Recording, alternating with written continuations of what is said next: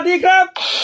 กระผมสินแสหมิงนะครับ หรืออาจารย์พงศดายุนาคทอง หรือที่รู้จักกันนามสินแสหมิงของเบ้งเมืองไทยนะครับ เจ้าของ YouTube Account สินแสหมิงของเบ้งเมืองไทย ก็กลับมาพบกับเพื่อนๆ แฟนเพจแฟน YouTube ที่น่ารักของผมทุกท่านอีกแล้ว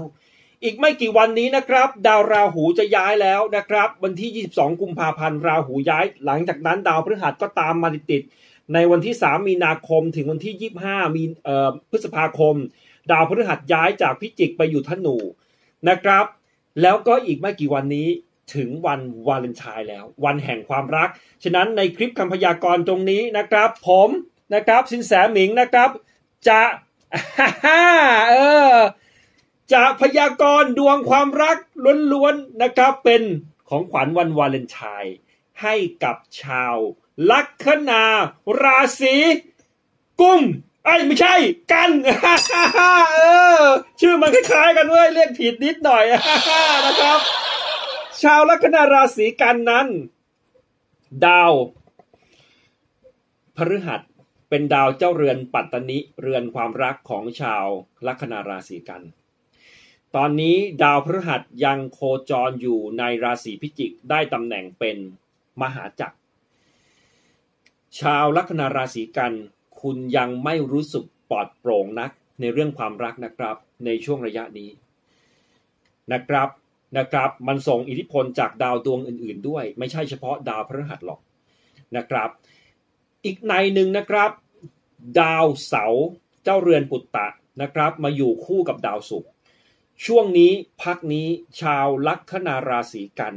หลายคนยังมีความรู้สึกเหมือนคนจิตตก เหมือนกับมันเพิ่งรู้สึก fail fail อะไรกับเรื่องความรักมาก่อนหน้าวาเลนไทน์ตรงนี้ ในช่วงก่อนวาเลนไทน์ตรงนี้และหลังวาเลนไทน์นะครับ ในช่วงเวลาตรงนี้เนี่ย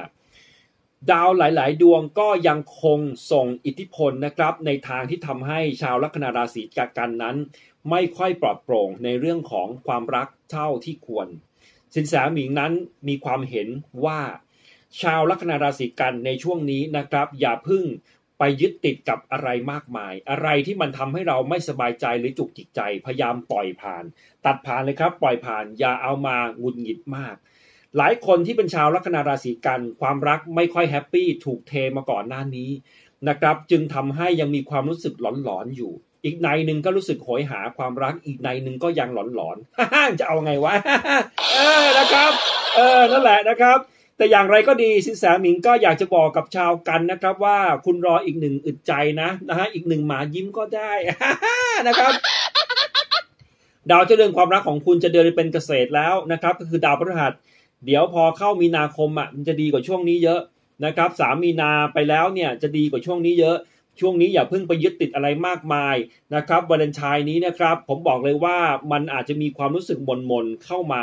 ในช่วงที่ดาวมันโคจรตรงนี้ สินแสหมิงจะพยากรณ์จากดาวล้วนๆนะครับ จับดาวมาพยากรณ์กันเลยนะครับอีกในหนึ่งนะครับดาวราหูนะครับที่จะโคจรไปนะครับ จะย้ายราศีจากกรกฎไปอยู่ที่ราศีมิถุนเนี่ย ต้องบอกก่อนว่าผมเตือนไว้ไว้ล่วงหน้านะ ชาวลัคนาราศีกันเนี่ยปกติเป็นคนที่ไม่ค่อยอะไรกับใครหรอกครับ ชอบอยู่เงียบๆสงบสงบชอบอยู่แบบชิลๆไม่อยากจะเอาเรื่องอะไรมาวุ่นวายใส่ใจมาก แต่ช่วงที่ดาวราหูมันขยับมันถีบตรงนี้ บางทีมันจะมีเรื่องหงุดหงิดเข้ามาให้นะ ก่อนหน้าและหลังที่ผมได้พยากรณ์ไปแล้ว ผมก็อยากจะบอกกับชาวกันว่าใครนะครับที่มีคู่อยู่นะครับ ต้องถ้อยทีถ้อยอาศัยระวังอย่ามีปากเสียงกันในช่วงนี้ นะครับนะครับแล้วเดี๋ยวทุกอย่างมันจะค่อย ๆ ขยับดีขึ้น แต่มีอีกหลายคนที่เป็นชาวกันนะ ตั้งแต่ปีใหม่มานะ่ะมนมนเศร้าๆ ความรักไม่ค่อยลงตัว เออ ไปดูเอาเหอะใช่ไหมล่ะเออนะครับเออส่วนชาวลัคนาลัคนาราศีกันที่ยังโสดนะครับ ในช่วงนี้ก็เอ่อคุยกับใครก็คุยไป แต่อย่าเพิ่งไปให้ใจอะไรมาก ความรักในช่วงก่อนหน้าหลังวาเลนไทน์ตรงนี้ยังมีความฉาบฉวยอยู่ สินแสหมิงกลับมองเห็นว่า ถ้าคุณรู้สึกดีกับใครในช่วงนี้ สามารถคุยกันได้ครับไม่ได้ห้าม แต่อย่าพิ่งไปจริงจังหรือจริงใจอะไรแน่นอน เหตุผลเพราะว่าดาวมันยังเดินไม่แน่นอน ถ้าคุณจะทุ่มเท ถ้าจะให้ใจอะไรก็แล้วแต่สินแสหมิงมีความเห็นว่า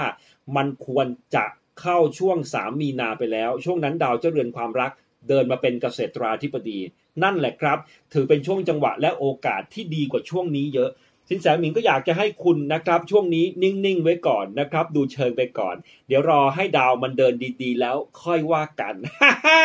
ก็ขอให้ชาวลัคนาราศีกันนะครับเออทุกท่าน มีความสุขนะครับ คิดสิ่งใดปรารถนาสิ่งใดขอให้สำเร็จสมหวัง